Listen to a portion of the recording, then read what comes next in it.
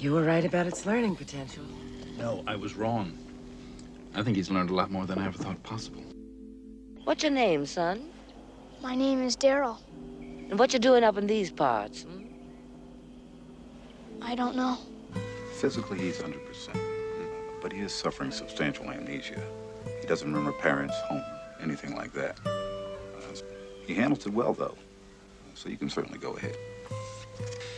We'll find a family that wants to look after you until uh, your own folks come and take you home, okay? Howie came by the site today, and they have a kid at the center. He's a boy. He's nine or ten years old. I don't get it. You remember how to read. You remember your name. Stuff like that. But you don't remember your family, your school, if you've got brothers or sisters. It doesn't make sense. I love Daryl. I really do hope we'll be able to adopt him. It's just he doesn't seem to need anybody.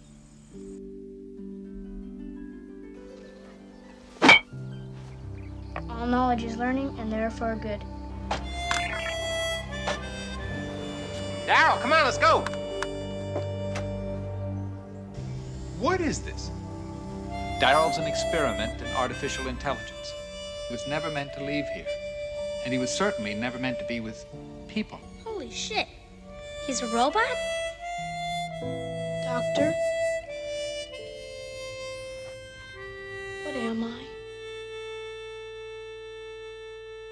They want to know how you do that. As a matter of fact, so do I. Well, I can sort of read what a computer is doing. You can control it. Welcome to task. Look at him. He's just a little boy, flesh and blood.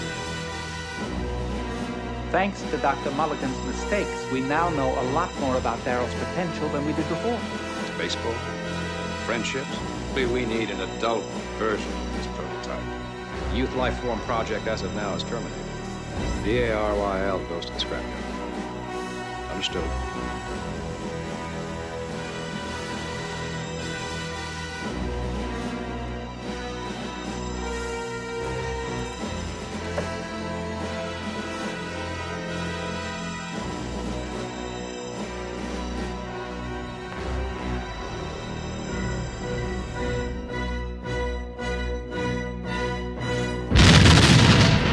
Paramount Pictures presents Daryl.